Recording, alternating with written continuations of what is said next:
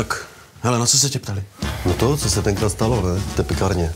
Na co tam tak čumíš, Stáňo? Jsi debil. Jsi na něco vymyslel.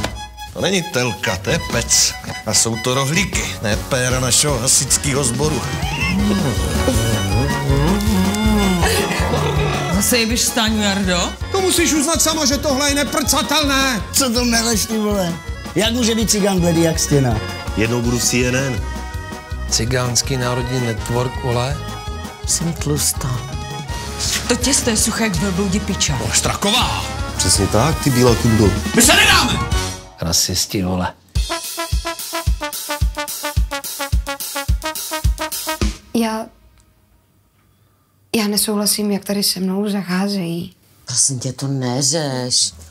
Ty řeš, aby tě nezbouchnul nějaký hasič. Přesně. Přijď večer na sportku.